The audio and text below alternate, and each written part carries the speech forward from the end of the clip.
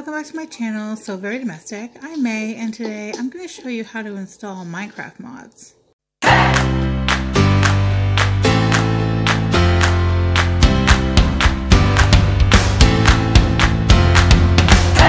I'm just going to show you what you need to do to install Minecraft mods. First, you have to download and install the Java runtime environment because you need that to run the mods themselves. And then two, you need to download and install the Minecraft Forge, which is basically how you install the mod. So you need the Forge to do that. And then three, you have to download the mod and any supporting mods. Four, run Minecraft again with the new Forge option, and then move the mods into the mod the Minecraft mods folder, and then open Minecraft and play with all your new creatures. I swear it is a lot easier than it probably sounds. So first up is Java. I'll put the full link in the description, but this is where you want to be to download the Java runtime environment. You want to click that radio button and then choose which goes with your operating system. So for most of you, it should be this one. This is, goes with Windows 10. And then I just click to download and then wait for it to finish downloading. Once it has finished downloading, I just click it to open it and then I just start following the prompts. This can take a minute, it just depends on your computer.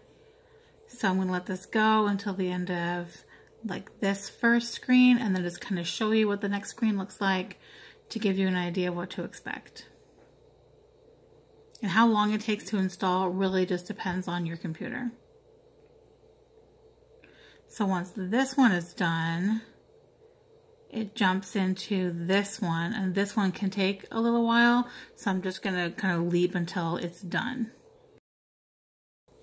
So that's Java installed. Next up is Minecraft Forge.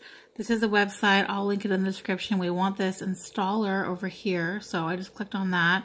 Do not touch anything on this website. It's full of pop-ups. It's not great. So you just want to focus on this side of the screen. Click on that button once it appears. It's going to start downloading. Bottom left, ask you, do you trust this? Do you want to keep it? It could harm your computer. Yes, you want to keep it. It's just a precaution because it's an unknown publisher. So that's why they ask you that.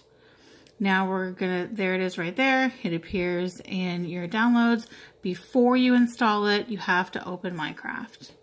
And the reason you have to open Minecraft is Forge will check the last version of Minecraft that you opened and you want it to be the same one as the one that your mod pack needs to be. So I have already attempted this video once before, but I'm going to just make a new example here to show you so that you'll know what to do.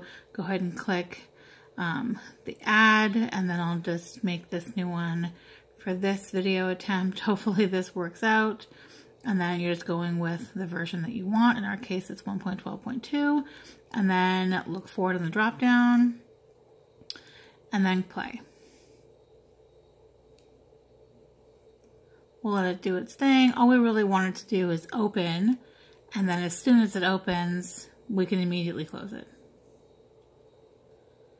Okay, open and close. That's all we needed to do.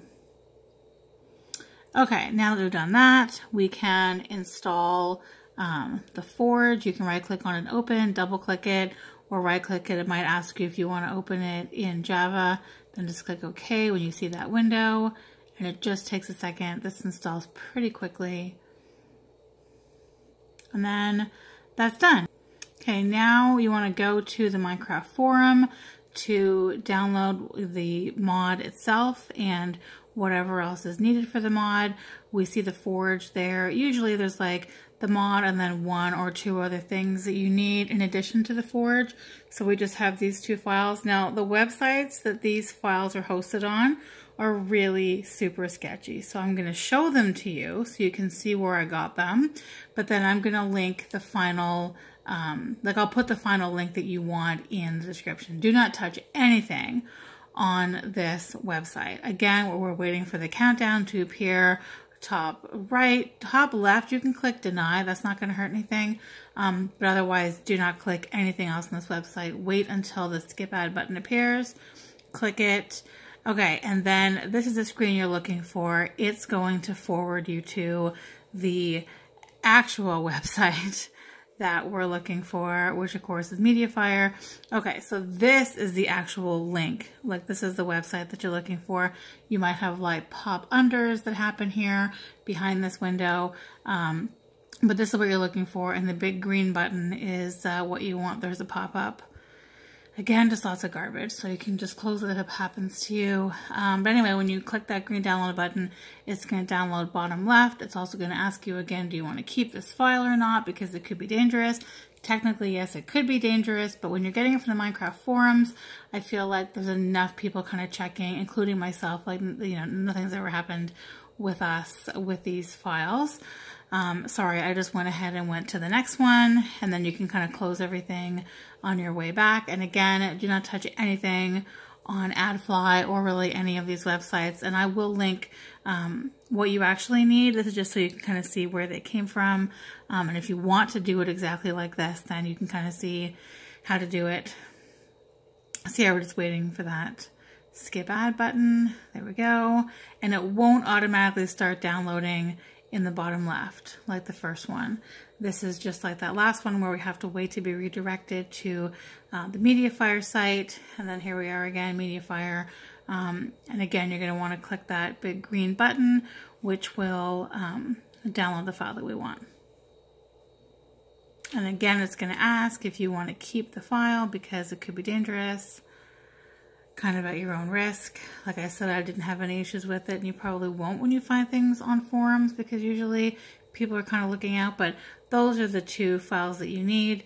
Um, easiest place on the desktop, so actually let's just go to the desktop, open that downloads folder again, and then you can just sort of select them and drag them out to your desktop, and then you can just go ahead and close that. And now, depending on um, like how your computer is set up, you can just even go into this search and type run, or you can hold the Windows key and tap the R key, but it's gonna open this little window. You're just gonna wanna type it in exactly like that, percent app data percent, that's percent A-P-P-D-A-T-A percent, and then click OK, and open this Explorer window where you see Minecraft up there at the top. So you want to go into that folder. And then if you have a mods folder, you're golden. If you don't, you need to create one. No big deal. You can click new folder or you can right click and do new folder. I already have one, so I'm not going to do that. Double click on that, and then there they are because I've already done it. Otherwise, you would just highlight these and drag them in. I don't have to do that because they're already there. But yeah, so then from here, literally all you do is close this and then open Minecraft again. And then Minecraft takes its sweet time as it does sometimes. So I already have it selected, but you would just go up to whatever thing you created and then click the button and let it open. I've already done this a few times. So then this is going to happen again. This forge will happen every time you open Minecraft. Um, but that's fine because you want that to happen. I've already made a world in here, so I'll just kind of show you a little bit of that. So this didn't record lovely, but my elephant is in the back. And you can see if you're in creative, you can look at all the different spawn eggs. There's elephants and jaguars and foxes and all kinds of things. And I think probably the funniest is this turkey. I get such a kick out of it. It's so funny to me. But anyway, that's how you install Minecraft mods. This example was Mo Creatures, but it would work with any Minecraft mod. As always, thank you so much for watching. I hope you enjoyed this video and found it helpful. If you did, please give it a thumbs up to show some support and subscribe to my channel for more updates. Thanks. Bye.